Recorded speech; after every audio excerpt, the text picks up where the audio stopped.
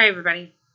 I just wanted to make a quick video and let you know that I have decided for sure to do the DNC fraud protest in November. The location uh, will be Washington, D.C. Uh, the time period is from November, just mid-November for, for now. Um, there are I've never done a protest before, so I'm getting hit with reality that it's going to be very, very hard to put together. So I've made a list of jobs that we need filled, and I'm just going to say team at the end of it because I would really like to have like five to ten or more people to some of these groups.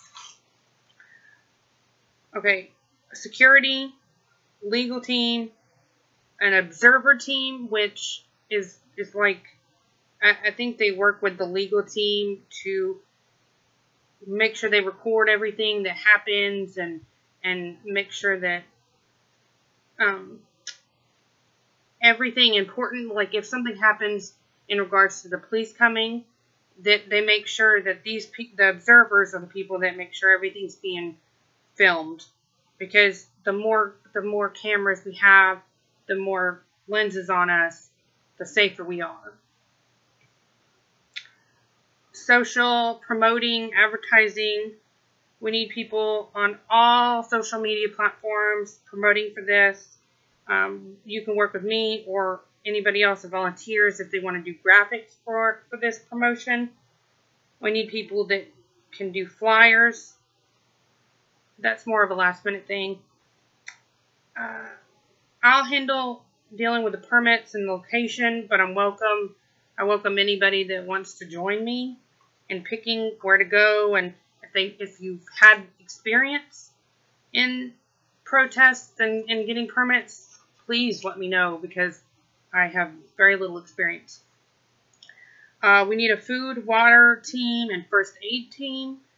We need a fundraising team.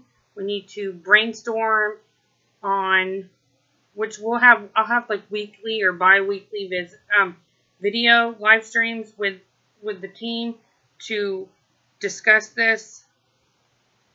Um, but this take it's going to take months.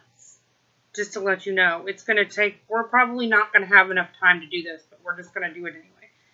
Um, I would like to have on those live streams. I would like to have a person to teach civil disobedience and um, peaceful protesting tips. So that's one thing that we're going to have to do. Um, we're going to need crossing guards, setup crew, cleanup crew, a prop builder maybe. Do we need a stand? I don't. Um. When do we need a PA system? We need sign makers. We need to decide if we're going to hire speakers maybe the DNC lawyers, the DNC fraud lawyers, the fraud, fraud lawsuit lawyers, um, Jared and Elizabeth Beck, or maybe Nico House. Uh, so if you think that any of those jobs that you can fill, just let me know. Message me on Facebook at Real Sarah Freels. And let me see if there's anything else. I think that's about it.